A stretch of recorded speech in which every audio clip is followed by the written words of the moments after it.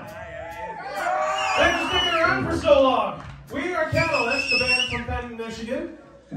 My name is Dom. I'm playing bass and vocals. Right behind me, we got Dave rocking it out on the drums. To the right of me, we got Tristan kicking ass on the guitar. And to the left of me, we got Josh, also kicking ass. All right, now kick ass.